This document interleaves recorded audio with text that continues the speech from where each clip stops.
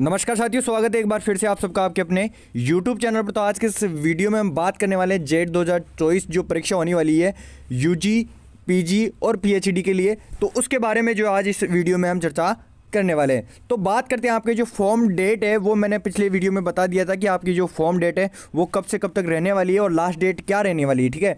ये आपके जो है गाइडलाइंस जो यूनिवर्सिटी जो आपकी बार जेट वाली जो एग्ज़ाम है, वो कंडक्ट करवा रही है, ठीक है ना? अब बात करते हैं डेट की स्टार्टिंग डेट क्या रखी गई है? वो रखी गई आपके 14 मार्च से। यानी 14 मार्च से आपके जो एप्लीकेशन फॉर्म है, वो भरना स्टार्ट हो गए थे, ठीक है?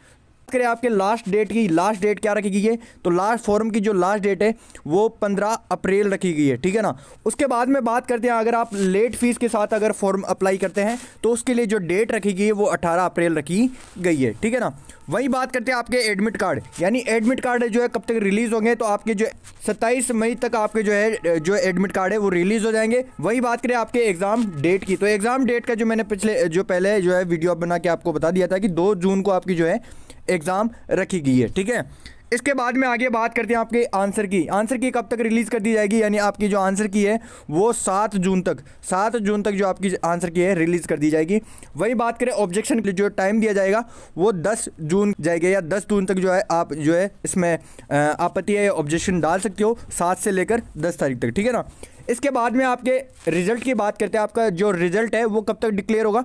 तो वो होगा 19 जून को, यानी 19 जून को जो आपका रिज़ल्ट है, वो डिक्लेयर कर दिया जाएगा, ठीक है? इसके बाद में बात करते हैं आपके ओपनिंग ऑफ़ ऑप्शन फॉर्म यानी आपकी काउंसलिंग के जो फॉर्म भरना स्टार्ट होंगे, वो होंगे एक तारीख से, यानी एक जुलाई से जो आपके फॉर्म स्टार्ट हो जाएँगे काउंसलिंग वाले, ठीक है? वही बात करते हैं अप्लाई करने के लिए, जो लास्ट डेट रखी गई है, वो रखी जाएगी आपके साथ, जुलाई रखी जाएगी। इसके बाद में बात करते हैं आपके जो फ़र्स्ट लिस्ट जारी होगी, यानी काउंसलिंग जो फ़र्स्ट आवंटन लिस्ट जारी होगी, वो 16 जुलाई को जारी कर दी जाएगी, ठीक है? तो इसको एक्सेप्ट करने के लिए जो है, आपको 19 तारीख तक जो है टाइम दिया जाएगा।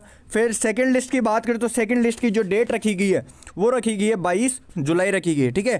तो इस प्रकार से आप देख सकते हो कि सेकंड लिस्ट जो एक्सेप्ट करने का जो टाइम दिया गया है, वो आपको चौबीस तारीख तक दिया जाएगा। इसके बाद में जैसे जैसे आप जो है थर्ड लिस्ट देख सकते हो और लास्ट जो है एक्सेप्टेशन अलॉटमेंट जो है डेट दे सकते हो यहाँ पर ठीक है ना?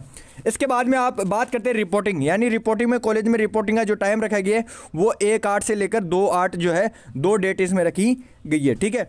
अगर इसके बाद में भी आपकी, अगर सीटें खाली रहती है तो यहाँ पे आपकी जो सेकंड जो है काउंसलिंग भी स्टार्ट करवाई जा सकती है, ठीक है? तो ये था आज के इस वीडियो में। मिलते हैं अगले वीडियो में, तब तक के लिए जय हिंद, जय भारत दोस्तों थैंक यू